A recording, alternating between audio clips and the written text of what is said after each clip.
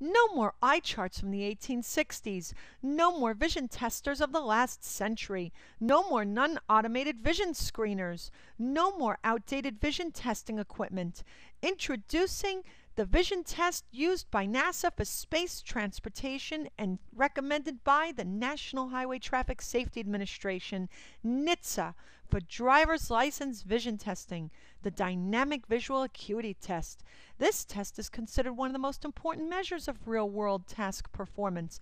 The Specialty Automated Dynamic Visual Acuity Test is standardized, user friendly, rapid, objective, patents pending, and scientifically proven. The Specialty Automated Dynamic Visual Acuity Test, available as software and online tests and in numerous languages. Specialty Automated Dynamic Visual Acuity tests are available only at Specialty Automated.